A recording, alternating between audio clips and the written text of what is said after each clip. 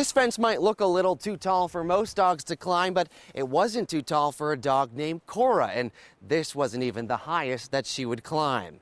The dispatch was like, wait a minute, you have a, a what in a tree? We want to know if they were messing with us.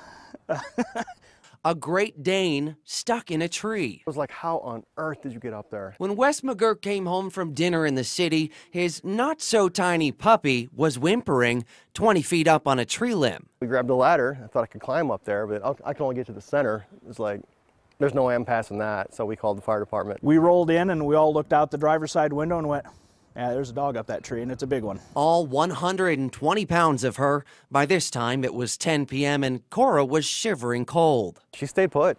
She was not going to move from that spot. When I got even crawled up to her, she was not going to move from that spot. So I just kind of held on to her and calmed her down. And it's like, okay, honey, they're going to be here shortly. We'll get you out of this tree. The plan was to have a tarp ready to catch her if she fell, but the Cass County Sheriff's canine handler would attach a harness to lower her down. It took two of us to put the harness on her. And once she was secured, she wheeled down about halfway and then fell the rest of the way. Some of the harness stitching came loose, but that's what the tarp was for. We cushioned the fall pretty well. And uh, like I said, he just he walked in, went into the house like nothing happened. Safe and sound, Cora went about her business, happy to meet her new rescue team friends. I could see a cat getting stuck in a tree, but never a 120 pound dog. Never. It's one of those that we'll talk about down here for a long time. Fingers crossed it won't happen again.